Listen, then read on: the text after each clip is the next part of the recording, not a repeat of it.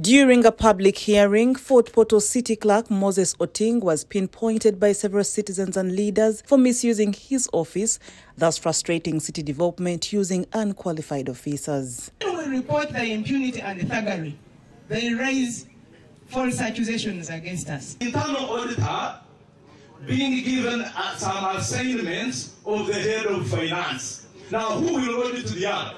Who will check the other?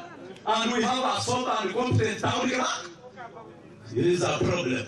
And the office of the IGG should solve this problem today, not tomorrow. ya billions abiri na ibiri but budget yegi ninyenda members from the office of the igg you pick interest.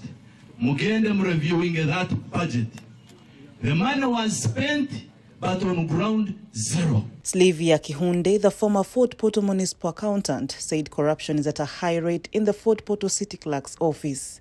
The town clerk has disorganized the city to the core. The engineer is working as an accountant, an accountant is working like a ward agent. A ward, a ward agent, under normal circumstances, is not supposed to assess taxes. They are supposed to pick invoices from office of uh, finance. They are supposed to pick assessments from the finance department, deliver them to the taxpayers, so that the taxpayers go and pay or complain. First of all, the town clerk is not giving information to the public. He's According to Victoria Businge Rusoke, the state minister for local government, no one will be left untouched as long as there is satisfying evidence pinning him or for embezzling government money.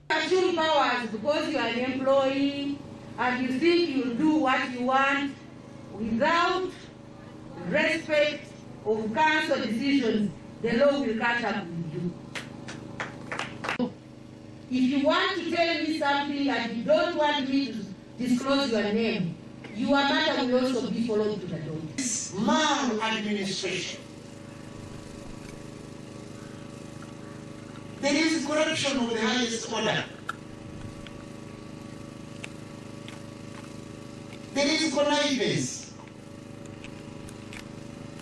There is syndicatism. Anne Mugisha noted that her officers are to stay in the area for two more weeks to investigate the issue further until every culprit is brought to book. Report compiled by Doreen Nasima for the news.